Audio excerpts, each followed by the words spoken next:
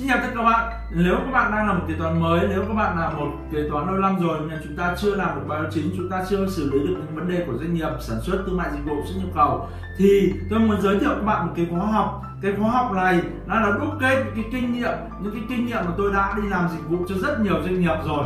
Đấy, tôi tổng hợp lại, tôi hướng dẫn và tôi viết thành một cái quy trình. Đấy, quy trình này và tôi tổng hợp thành các gói được chưa? Nếu các bạn học cái gói thương mại dịch vụ thì nó gồm 6 khóa. 6 khóa này các bạn sẽ được học từ cơ bản đến nâng cao nó bao gồm khóa kế toán cơ bản và học về nguyên lý kế toán hướng dẫn các bạn về các nguyên lý về thuế, về kế toán, về định khoản Đấy, thứ hai nữa là khóa về kê khai thực hành thuế.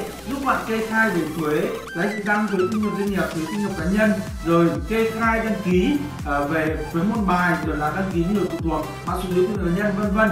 Đấy rất là hay rất là tuyệt vời. Các bạn sẽ được thực hành thực tế trên chứng từ của công ty tôi.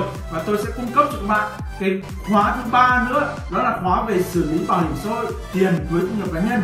Cái khóa này sẽ giúp các bạn cân đối được chi phí giữa thuế thu nhập uh, cá nhân và chi phí về bảo hiểm xã hội. Đấy cái khóa thứ tư đó là giúp các bạn am hiểu về các cái sắc thuế thuế giá trị tăng thuế thu nhập cá nhân thuế thu nhập cá nhân. Đấy cái khóa thứ năm đó là khóa giúp bạn lên bằng các tài chính trên phần mềm Excel. Khóa giúp các bạn hiểu được cái bản chất của nó. Đường đi nước bước từng bước cách thanh toán như thế nào, tại sao chúng ta làm như thế này, tại sao chúng ta không làm như thế kia. Cách mà chúng ta tính giá vốn sản phẩm, chúng ta tính giá thành dịch vụ, đấy. Tất cả nó đều có trong cái khóa này.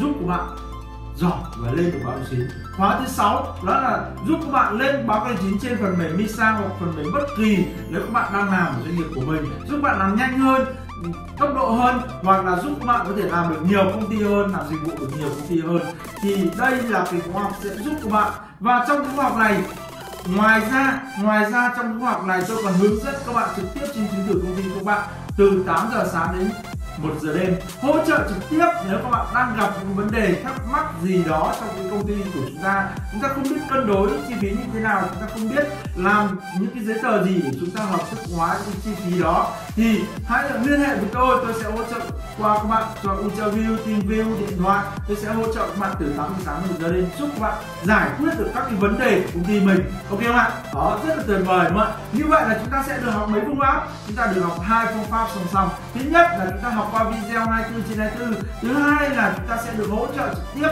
qua chứng từ của các bạn qua Ultraview, TeamView và ai hỗ trợ? Tôi trực tiếp là người hỗ trợ các bạn. Tôi sẽ lấy kinh nghiệm của mình có được tiếp xúc rất nhiều công ty rồi. Để chưa? Tôi làm dịch vụ rất nhiều công ty về uh, mảng thương mại dịch vụ xây dựng xuất nhập khẩu uh, rồi thương mại dịch vụ nhà hàng ăn uống rồi là các cái loại hình khác thì tôi sẽ lấy những cái kinh nghiệm đó để chia sẻ các bạn.